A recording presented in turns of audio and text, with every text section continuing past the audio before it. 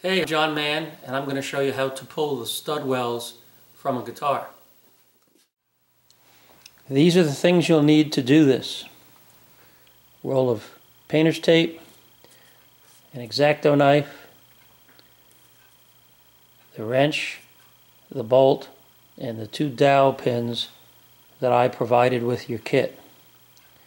Here's a stud well and the bridge.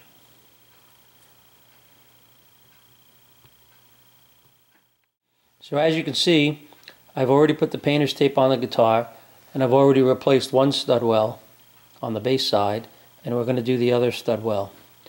And you just follow along, it's quite easy and uh, no big deal. So the first thing you do after that is you take your X-Acto knife and score around the edge of the stud well. All the way around, you just want to cut in, into the finish if there's any, just as close as you can get to it. And this way, when you pull the well out, you won't chip the paint. So the first thing I do is I take the longer of the two dowel pins, there's two here. We drop the long one in the hole. Take your metric bolt. In this case it's metric.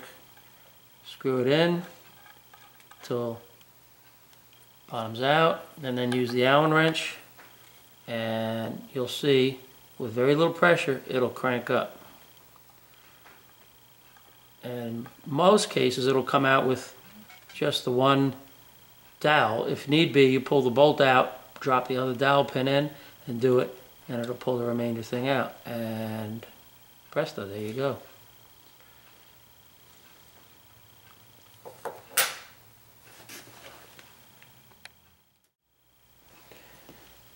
to install a new well, you put it in the hole, straight as you can, take a hammer and slightly tap it in.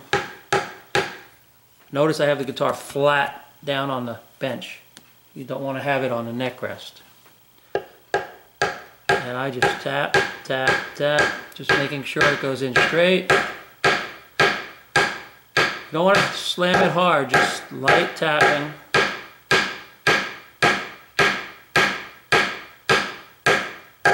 If you had a, a drill press, you can press it in, which always makes life easier.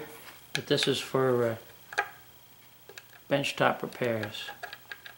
Now if I can get this bolts threaded in, I'm going to thread this in and just do it a little more so that it's just below the surface.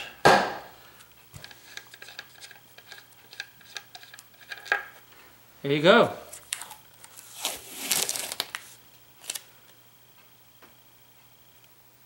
Take some cleaner, polish, clean off the tape residue, and be good to go. It's that simple.